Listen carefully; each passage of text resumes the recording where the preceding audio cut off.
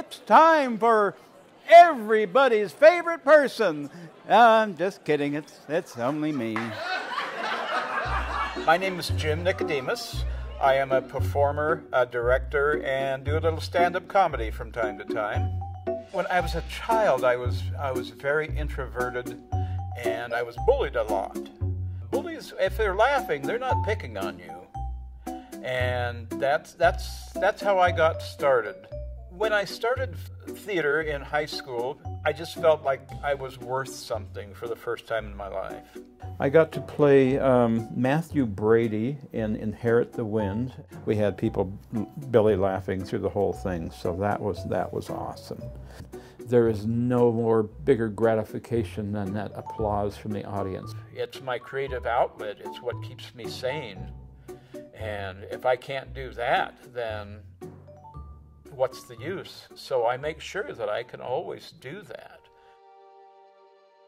About three years ago, I was faced with uh, heart issues and a lot of knee pain. And eventually I got word that I had osteoarthritis in both knees. It got me to a point where I just didn't want to go anywhere because I knew it was going to get uncomfortable. I thought I was done and I felt really depressed. And I had a doctor that was prescribing me uh, painkillers. I was I got stuck on the pills and I didn't want to be there anymore. It happened to be the Quest Center was right next to my doctor's office. So I went over there. I had considered acupuncture. I didn't think it was an, a viable option for me financially. But when I got there, they hooked me up with the WISH program. And the WISH program helps cover that for me. I don't have to pay for it. And they do cover counseling, which I took advantage of one on one counseling over Zoom meetings. The counselor was fantastic, absolutely fantastic. Before I knew it, you know, I had this group of people behind me pushing me forward, not dragging me back. They opened my eyes to who I really am. Not who I was, but who I am.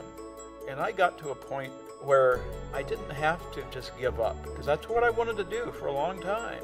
I wanted to give up. I thought my health was too severe to ever get back on stage again. I can find ways to control the physical and emotional pain without medication.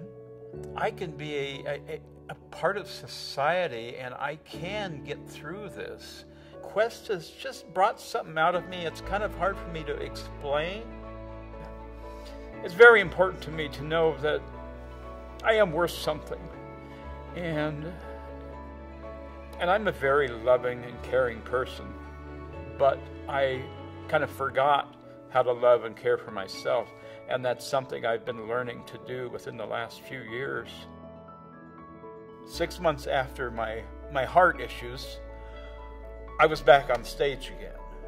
And that lifted me up higher than I'd been high in my whole life. I'm not done. I'm only 65. I got a good two weeks left yet. So, sorry, just cracked myself